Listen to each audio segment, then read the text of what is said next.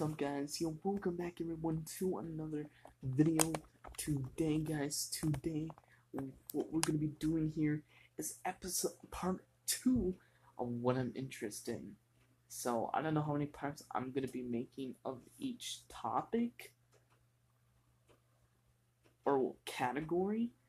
But um yeah, for the for this first category slash um topic is paranormal activity. So this is part two of this category, first category, and we're gonna be looking at six weird creatures you don't want to meet. Okay. Oh, the Jersey, the Jersey Devil. Okay.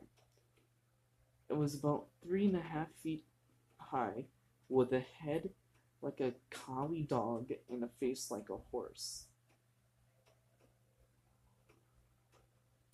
Um, it had a long neck, wings about two feet long, and its big, and its back legs were like those of a crane, and had horse hooves.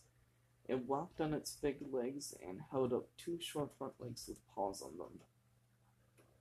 Um, spotted the animal committed on their shed for 10 straight minutes. Ooh. Okay. We got the Mothman. Uh, approximately seven, seven feet tall, has a wingspan over 10 feet wide, gray, sc scaly skin, large red glowing and hypnotic eyes, able to take off straight up in flight without flapping its wings, travels up to 100 miles an hour, um, likes to mutilate or eat large dogs, screeches or squeals like a rodent or an electric motor, likes to chase cars, like to nest in roads on popular areas, causes radios and telephones interference, to. Okay. Um.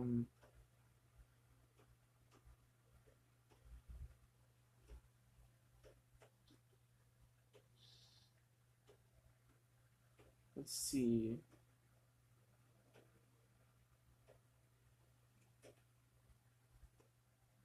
Okay, so that's about it. And, um,